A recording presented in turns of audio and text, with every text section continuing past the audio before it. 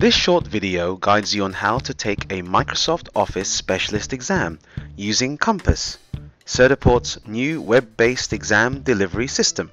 As of August 2019, Certiport has merged the exam delivery system that was found in Console 8 into their new program to provide one web-based solution for all certification exams offered by Certiport.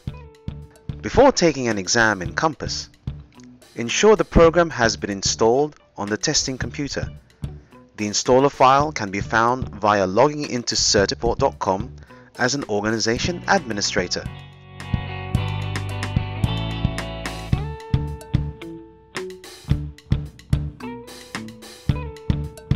You may need your IT support's help in downloading and installing it for you.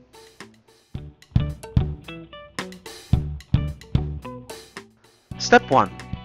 Double-click the compass icon on the desktop to launch the program. The program will open up in a web browser-based environment. Step 2.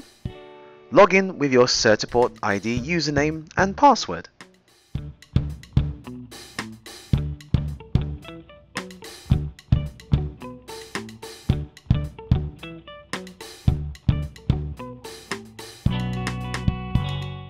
Step 3. After logging in, proceed to click the Launch an Exam button on the top right hand corner. Step 4. Click on the Program drop-down list and select Microsoft Office Specialist. You can also select the No option if you are not concerned about associating with an exam group. Then click Next. Step 5. Click the Yes I accept option of the non-disclosure and EULA agreement page on the next screen and then click Next again. Step 6. Proceed to select the Microsoft Office Specialist exam of your choice. Step 7. Select the payment method and click Next.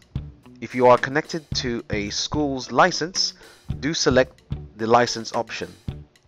Or if you have an exam voucher, select the exam voucher option and then you'll be asked to put in the voucher code numbers.